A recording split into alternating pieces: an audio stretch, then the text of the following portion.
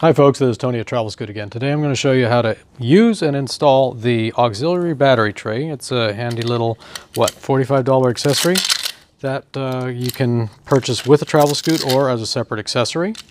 Uh, it's reasonably popular and very useful for folks that have a great deal of difficulty bending over to remove the battery from its standard position. Uh, I'll just hold it up here in place very briefly to show you approximately what it does. This now becomes the battery holding fixture and raises the battery up about uh, five inches. And I'll go to showing how easy it is to install.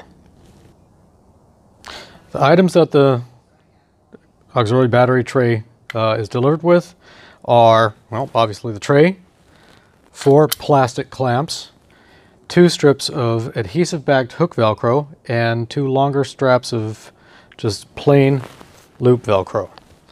The installation is straightforward enough. I would start by taking a grease pencil or a dry erase marker perhaps and measuring about four inches out on your yoke each side. And that is for the outer edge of the shorter strips of adhesive backed hook Velcro. It's probably a good idea to keep the gap on the underside, but all you're going to do is take these and apply them around your yoke. And the distance from your seat pipe stem is not critical. It's good enough to get an approximation. Just looks a little better if you get it even.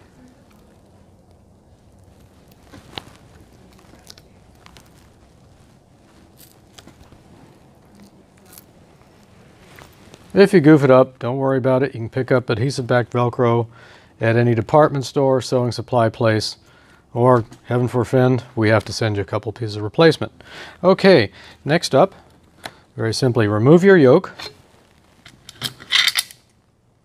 Slide the seat post, or rather the auxiliary battery tray over your seat yoke like this. Get it up to about the level you want and reinsert it.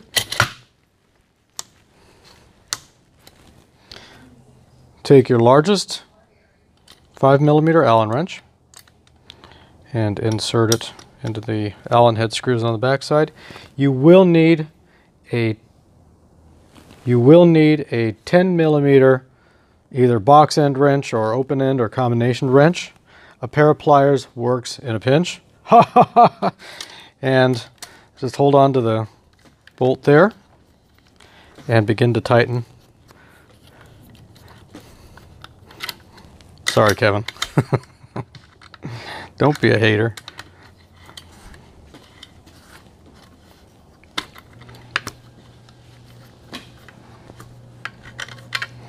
That's reasonably tight. I'm just going to look over here, make sure we're reasonably even. You can use the battery lying flat in the tray as a sight line.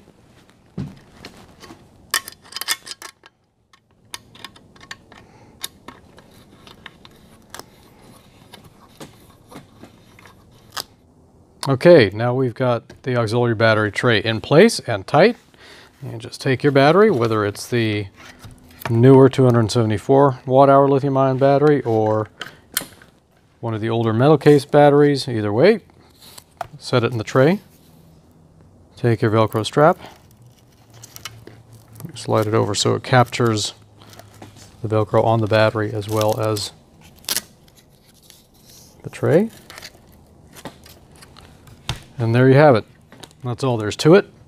Now you have access to the battery about uh, five, six inches higher than with the lower installation. Thanks again for watching and happy scooting.